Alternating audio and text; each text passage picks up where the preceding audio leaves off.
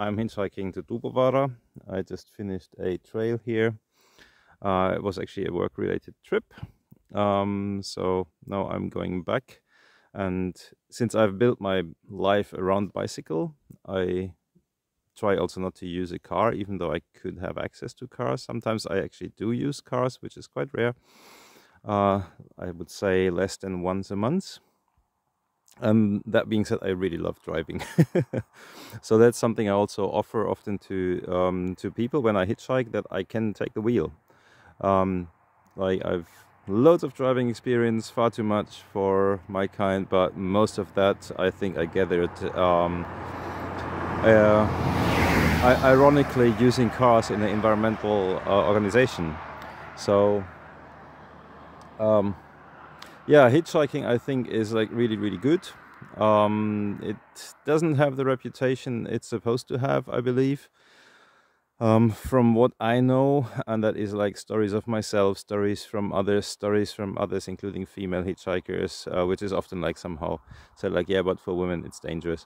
Um, I, it's possible to make hitchhiking relatively safe. Um, like you can you have the smartphones um, that can help track you or send a picture of the number plate or something like this. Um, if you feel unsafe. Yeah, everybody going the other direction. I need to go this direction.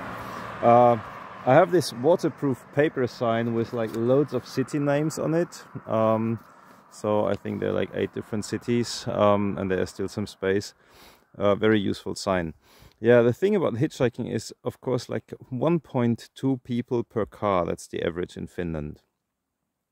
And with hitchhiking, I can get this average up, um, make better use of the cars, and I offer something to the drivers. So what the hitchhiker offers, there's a car coming. I need to try to get you right. I guess uh, what the hitchhiker offers is like you have two sets of eyes on the road.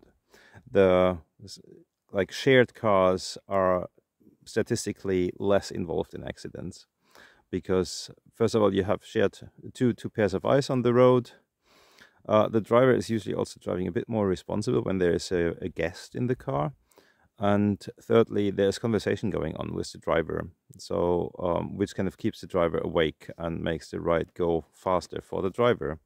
So i always try to make it a as positive experience for the uh, for the rider like for the person who gives the ride for the driver.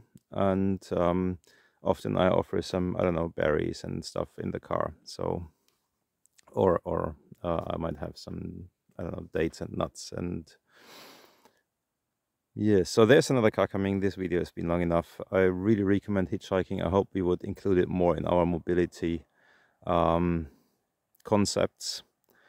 Um, and it can be made even that you have like kind of these local ride sharing benches. Imagine like a bench standing here and there's a car coming. I need to take that. Okay giving it a try. Have a good time. Bye bye love you